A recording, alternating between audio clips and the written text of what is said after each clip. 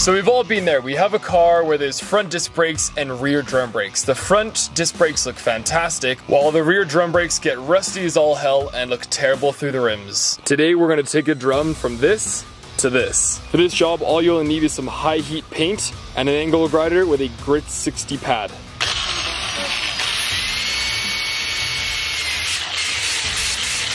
It's always a good idea to have the proper protective gear like goggles, a mask, and this is a perfect case of do as we say, not as we do.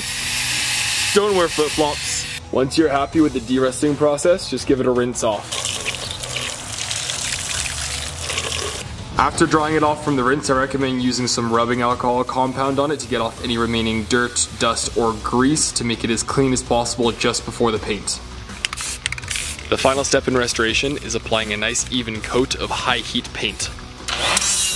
While you're waiting for the paint to dry, you can clean up any remaining areas around the drum that have rust on it.